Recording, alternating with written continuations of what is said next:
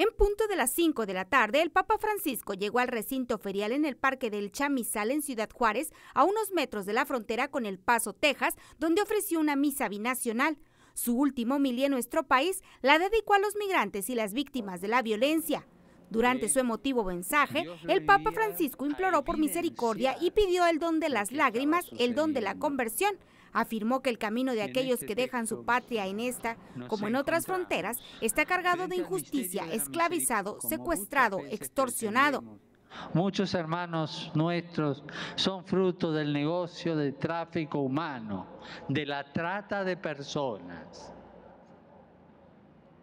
No podemos negar la crisis humanitaria que en los últimos años ha significado la migración de miles de personas, ya sea por tren, por carretera e incluso a pie, atravesando cientos de kilómetros por montañas, desiertos, caminos inhóspitos.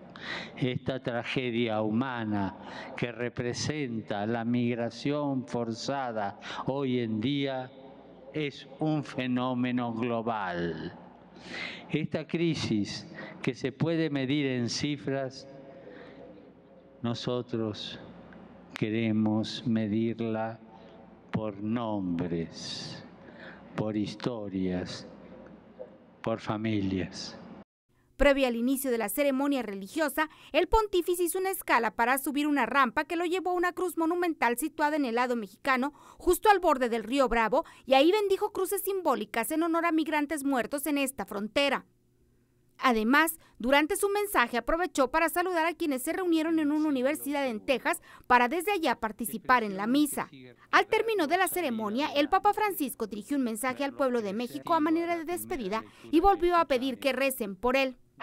No quisiera irme sin agradecer el esfuerzo de que han hecho posible esta peregrinación.